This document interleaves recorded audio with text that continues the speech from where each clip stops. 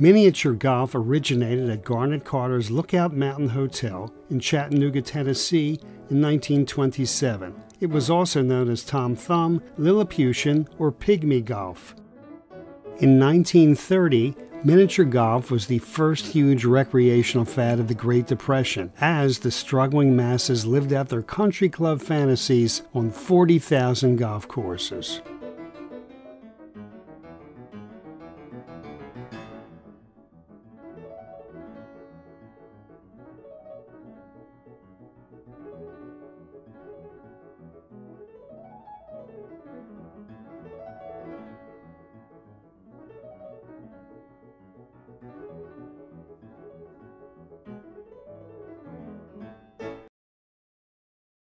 The Jolly Mon on Philly's Roosevelt Boulevard at Rhawn opened as the South Seas in 1934. In the good times on Roosevelt Boulevard, the crowds lined up on either side of the golf course, from the bowling alley on the south to Rhawn Street on its north. Except for its last hole, the Jolly Mon featured the same 1934 layout. Several of the original hole attractions remained until the end, including the Monkey Cage, Cobra, Panda, Tiger, and the Jungle Man. The final manager, Seth Mendelson, virtually lived at the Jolly Mon every summer. A special effort was made to hire the neighborhood kids. The Jolly Mon's last days were clouded by vandalism. The hardest part, said Seth Mendelson, was to watch a place I loved so much fall apart.